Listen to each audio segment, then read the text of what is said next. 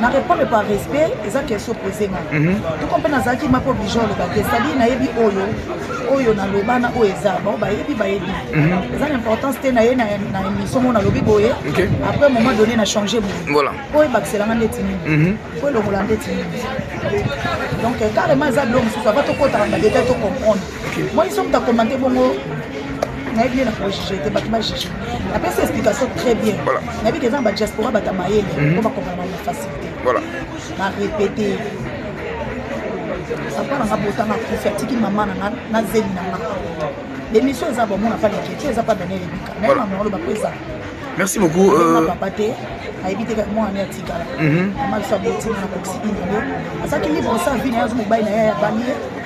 asalaki trop jeune aki kitoko azwi mobali ne ya jeune garçon ya bali basali bakontinue vi na bango mobali ya kobala akuti nga na age ya une année deux ans te mais une année lelo na na age mhm. siko lelo tokobimisa bato baexcuse oyo moto asekwaka te mhm. lelo tata na nga biologique soki aseki mhm. atye boye na papa oyo azonga na une année soki aza papa tanga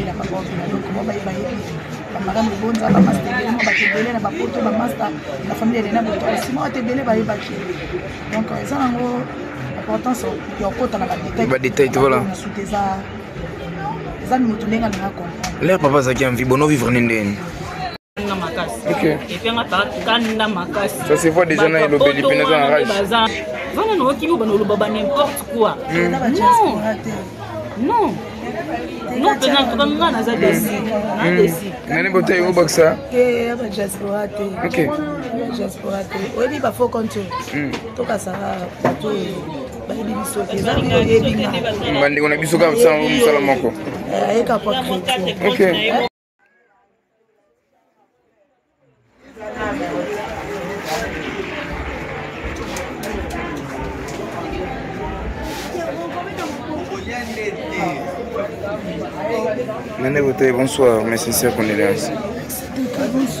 Ouais, euh, pourquoi expliquer balandi ya bandeko bakolanda yo ouais nene botai lelo oyo toye koassiste na matanga d'abord un mot d'abord na bandeko to balando partout le monde entier merci teka merci na moni bino sara bolingo namoni euh, joseline justement tozali ane papeza na maladi esobe bonde famille ezalaka kamela matondo osi merci na badiaspora oyo nyonso depuis lobi baobengana vraiment telefone eza sature namoni vraiment bakamela mateka wana ozwa vraiment bapele bamotivation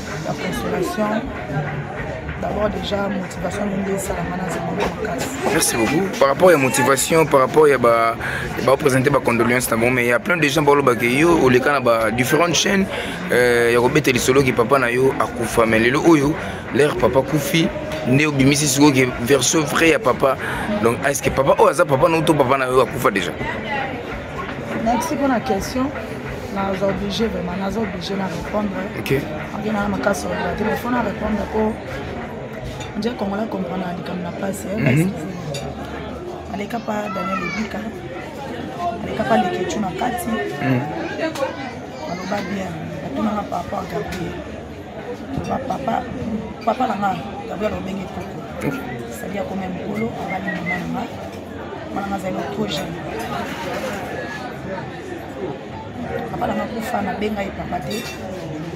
eyebi mpe nga te ye mokuta na tika ezeme teke mwana ni abima na nsima ayebi te na explika mamo na oloba na explika na bando basuki explike bato parce que nde bato babengibengi nga mpe esusu kaka mpona mwa bacommentaire mo balelekesi na chaine na ntuka na kipe te esali na kosi ino me mama na nga aye kobala parce que papa na nga kufi abimisi bato balanga na bien bito papa na nga kufaka tika mama na nga na zemi c'est-à-dire na zemi wana mama biso ayebotana azalaki na oje mhm. nakosi inani aza libre oza mobali fabala ye eh. maintenant nakutani na papa na biso omari abali ye eh. nde babaka koma euh, mobali soki oti mwasi na bana ata mibale misato bana mhm. azonga na inani moni papa nga na olela azonga na inani na age oyo nakolina aza papa kongola kompona mama donc vrai père na yo oyo abota yo akufa papa biologique akufa oza lokola papa nga kutu lonine mhm. nayebi te ok yebi ntango atika ezemi yebi te mwani ya bima na nsima sona moto aya azwi yo na inane abandi obokolo ti okoli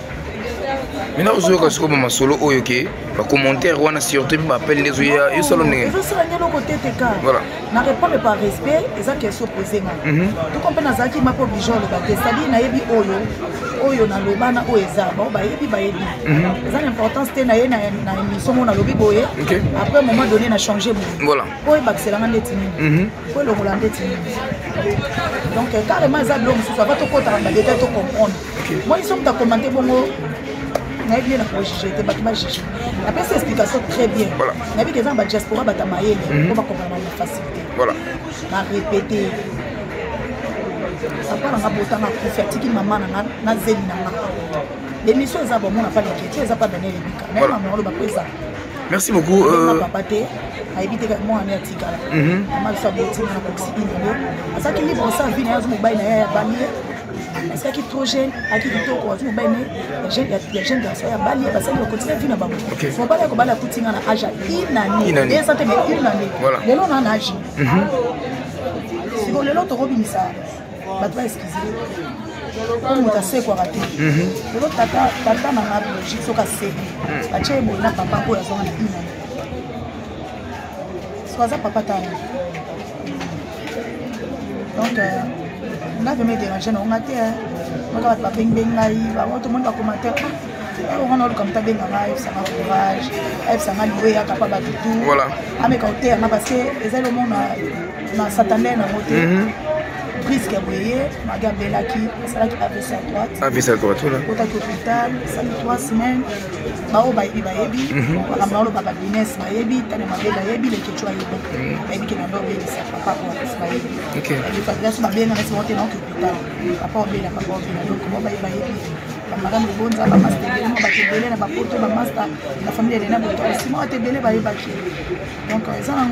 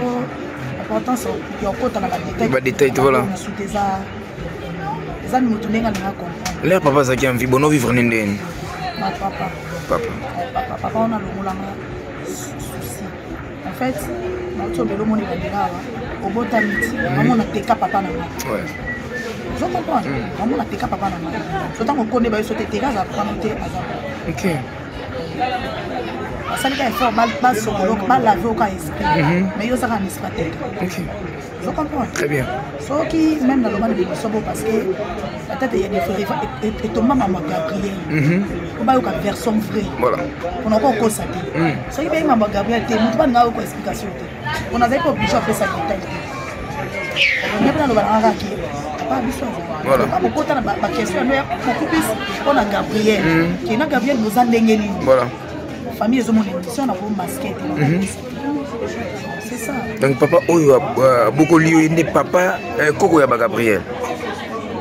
papa oyo abokoli yo ye nde koko ya bagabriel mhm. ah d'accord na papa biologique na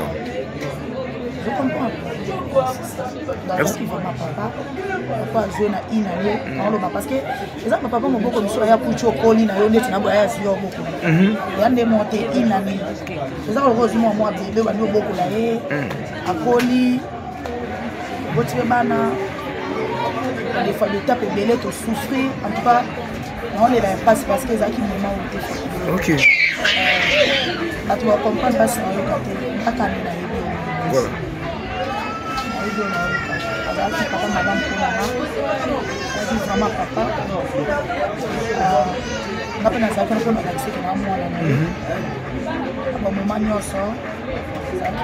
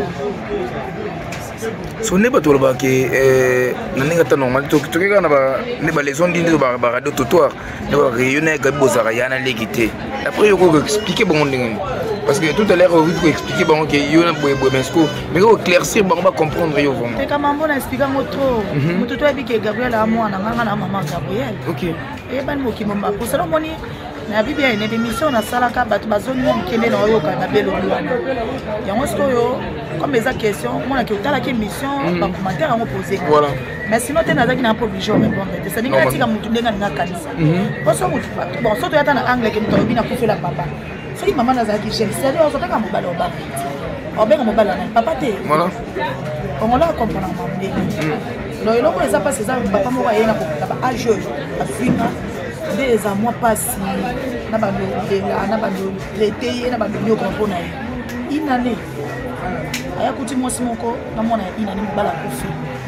abali mwasi wana azwi ngai parce que nainga lelo na na age vraiment donc euh, mamu gabriel masa explika motutu voilà j'espère mo mokele na explike boye ndo makasi te bato ok soza na message opesa na bandeko tu balando partout le monde entier epuis na na famille artistique nanu parce que oza, oza moko ya baartiste comédien par chroniqueuse ape moko ya baartiste comédien soza na message okopesa bango message nini okopesa na bango non merci kaka na bango bazobengana depuis lobi ebele euh, baobengana depuis lobi na soki eza na bato bayebi ke na nda obengisa omoni nakobela oloko mwa moke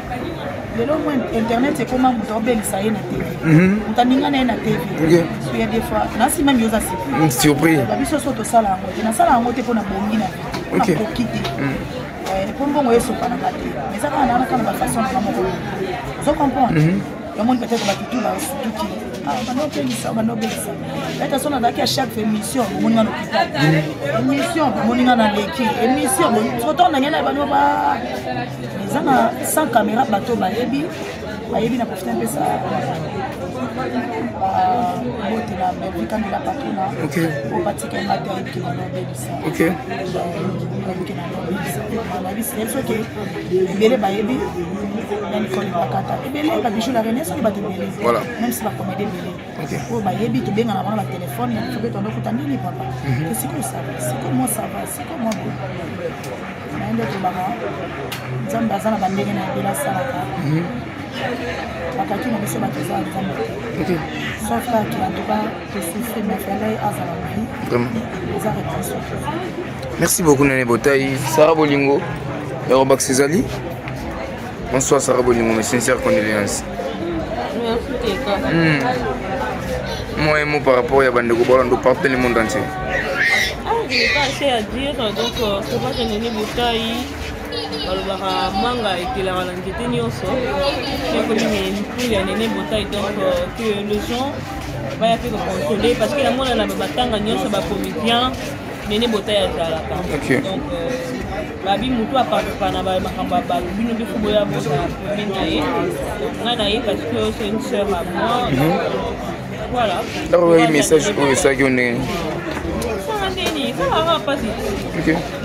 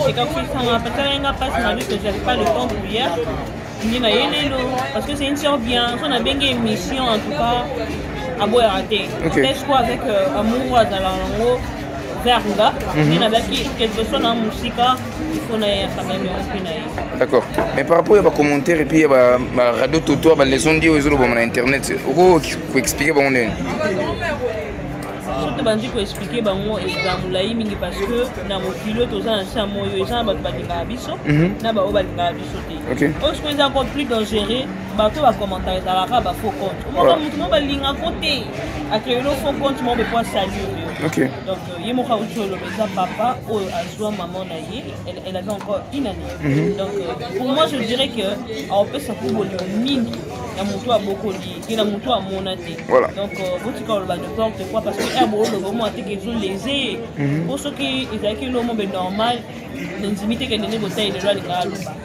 parce que eza deuxième jour moto nyonso akufeli azalaka na choc moko ya koloba te mhm. mais so bomoni ya s'exprimer eza eloko elese esike derange ye donc euh, c'est pas le moment de parler de n'importe quoi donc soutenir ye tofandisa ye parce que so bofandisi ye bopetele masolo moko boye oyo eza ke otia oh, vraiment souci makasi Merci beaucoup Sarah Bolingo. Bonsoir madame. Bonsoir. Mes sincères condoléances. Merci. Oui, qu'on se présenter puis la famille à Nene Boté aux années. nakoloba te ke naza camarade parce que yanga na nene eza sur camarade te tokoma déjà famille tozalaka ne na groupe lisboy epa président na biesobe maintenant toza lisusu te nafandaki na ndako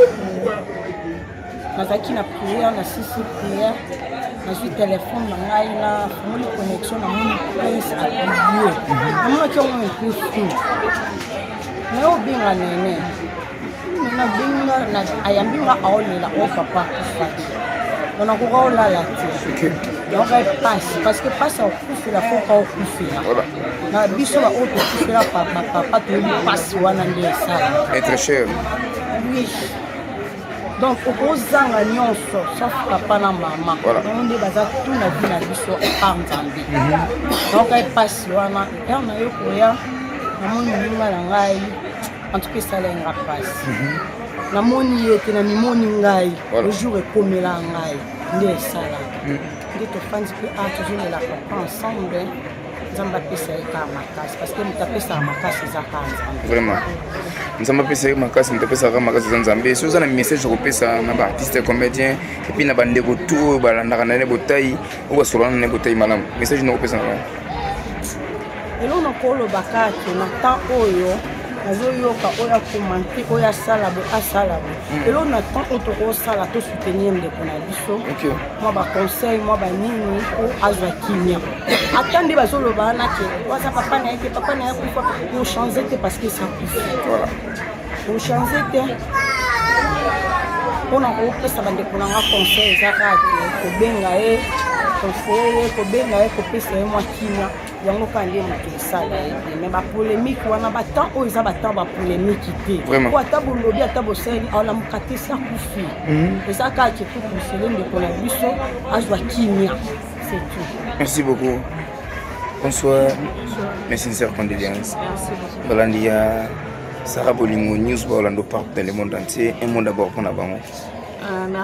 merci beaucoup na babone nyonso ya sara bolingo bosabone kaka ndenge ezalaka merci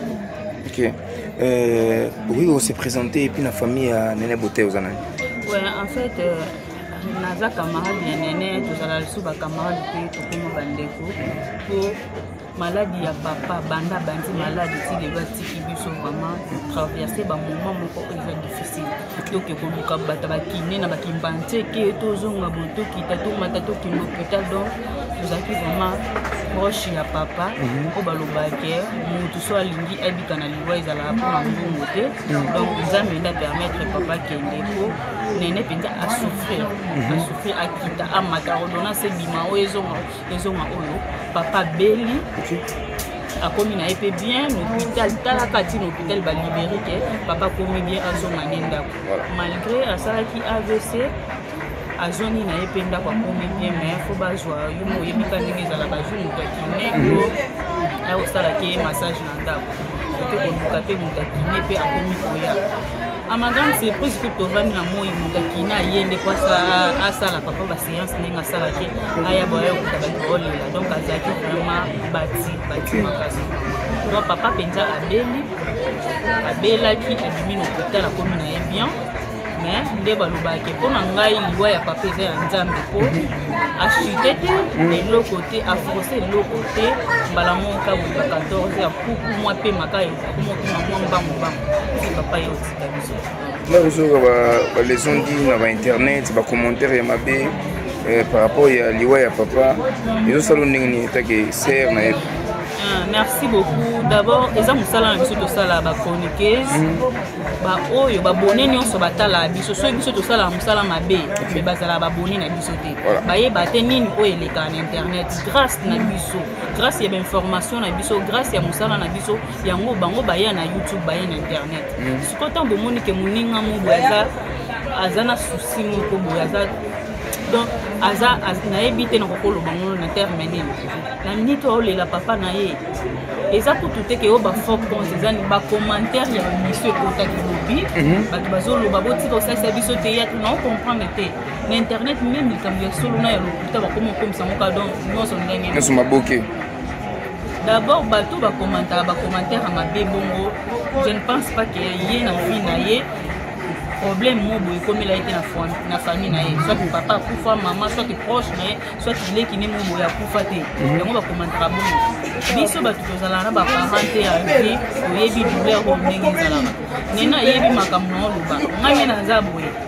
naluka lisusu baproblème na vie te mpo naa na baparent te naa na papa te naa na mama te mhm. nayebi ke lelo oyo so naza na problème nanga na obenga mama na obenga papa papa aza te mama aza te na se garda na façon na ngai nasunga bandeko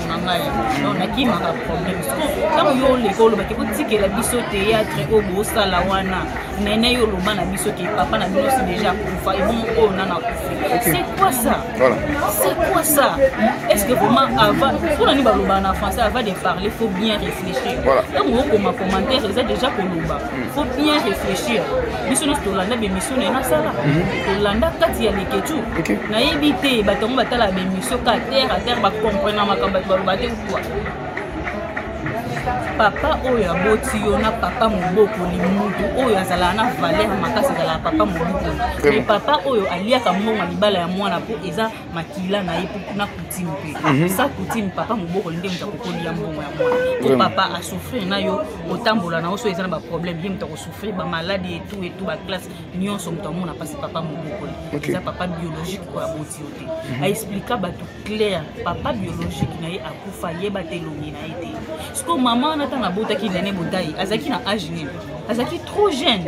siko ti lelo alingi ovanda kaka tellement papa banene akufa mhm. ye alingi ovanda ne mpe kaka bongo non oh, non nene mama na bango abalaki eh, abali papa oyo akufi lelo oyo eza papa biologique ya nene toloba bongo parce que azwa nene na age ya inane mhm. azwi nene na age ya inane ti lelo akomi na age akomi na age nini antouka tolobaka makambo oyo eza te moninga aza na mpasi osuete ata basense condoléance esali bien otya ye na bapriere bokonsole ye tu etu te bokana koma bacommentaire ya babetise wana nga vraimen epesi nga vraimen kanda makasi epe nga paa kanda makasi baza wana naokimi obana oloba ba n'importe quoi hmm. non non non mpenza ntuka nga naza desi na desi nani botai obakisa ya badiaspora te ok badiaspora te oyebi bafaux compte hmm. tokasaka bato oyo bayebi biso te bandeko na biso kaka mosala mosala moko eh, ayeka kwa bamela oyoki badiaspora te ah, d'accord eh, babenga ebele ya solo eh. ezalaka bandeko na biso basalela biso badirect ya lokuta bakosela biso bamakambo ya lokuta nde bango eh, bataketo kambo atatu hmm. aja lelo ozwi merci beaucoup pamela euh, toyoki yo vraiment soza na message okopesa na bandeko tu bakolanda yo epuis euh, na famille artistique mobima message nini okopesa na bango hmm, merci beaucoup d'abord na kize te na nyonso nalobi parce voilà. que d'abord biso bacongolais vérité ekomaka insult voilà. je dis seulement la vérité nalobi kaka juste bavérité nga na olinga bobenga nene botai bokonsole ye mhm. abungisi un être cher na ye eza teke mpo banakomante bacommentaire mo boye ekokolese moninga lisusu abela estoma abela asala crise mpo na bino eza vraiment eza bien te bo console ye vraiment surtout na ba prière ezala bien makasi merci beaucoup pamela